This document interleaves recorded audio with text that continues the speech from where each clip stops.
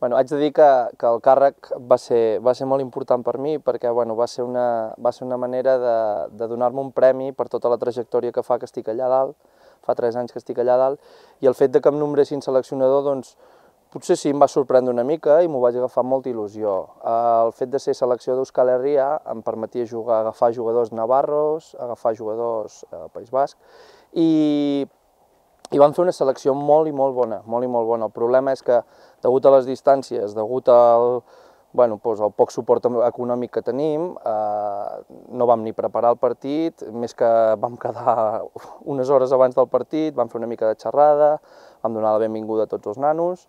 i vam plantejar una mica el, petit, el partit sabent el que era Venezuela, que en aquesta ocasió era el, el nostre rival. Sabent com jugava Venezuela, va, segons els jugadors que jo tenia,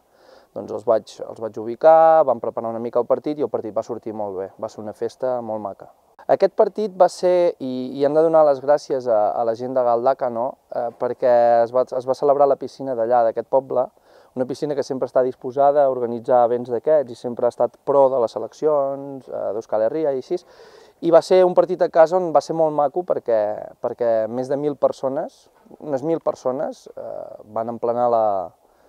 van emplenar la piscina i va, va ser un acte molt, molt festiu, reivindicatiu i, i maco, de festa. Jo estic una mica negatiu en l'aspecte del waterpolo. És que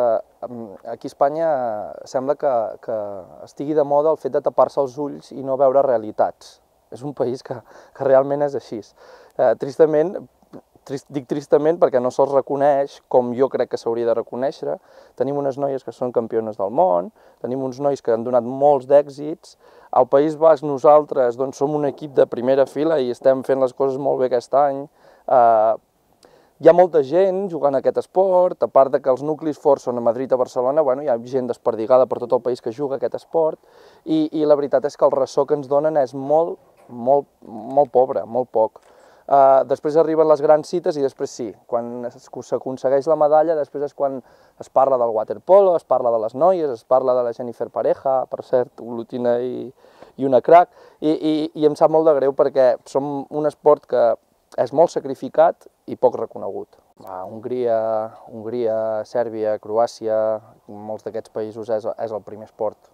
Però bueno, sabem que aquí a Espanya la realitat eh, és la que és, el futbol mana, el pentinat d'en Cristiano Ronaldo mana, les tonteries d'en Ramos manen i, i això és el que tenim. Bueno, Mèxic, eh, el que vaig veure i vaig poder apreciar, vaig anar amb, junt amb tres entrenadors més i el que vaig poder apreciar és que tenen ganes de fer, de fer coses. I crec que és una... Bueno, els que, els que nosaltres ens van contractar, per així dir-ho, dir vam anar per amor, per amor a l'art,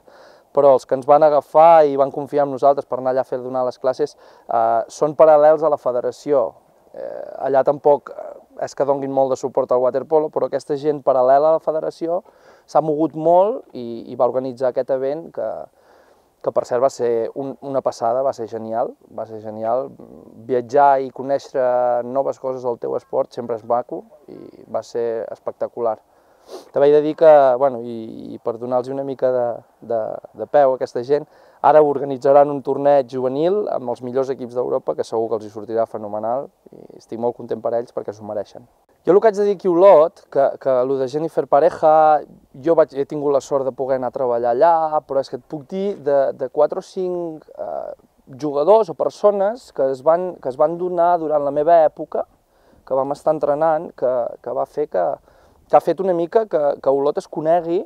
pel, pel bon waterpolo que es va fer. Et podria parlar de la Jennifer Pareja, et podria parlar d'en Gerard Reixac, que ara el tenim a França, i segons m'estan dient, perquè parlo sovint amb el seu entrenador, ho està abordant, ho està fent molt bé. Tenim en Xavi Buch, àrbit internacional, que, que per mi va ser un dels millors entrenadors que he tingut mai. Tenim en Ferran Plana, que està a la selecció catalana, també a categories, i, i ho està fent una molt bona tasca tenim en Blai Mallarà, que el tenim jugant a Grècia, i tots aquests són més o menys de la meva quinta, uns van ser entrenadors, els altres van ser companys, i aquí Olot es va fer molt bé. Però això va com sempre, va per etapes, i bueno, hi ha etapes, hi ha tongades de, de gent molt bona, hi ha tongades que la gent és bueno, diferent o no té tant interès, o... i crec que, que Olot és una ciutat on, on el waterpolo sempre s'ha cuidat i a mi m'agradaria m'agradaria que continués sent així.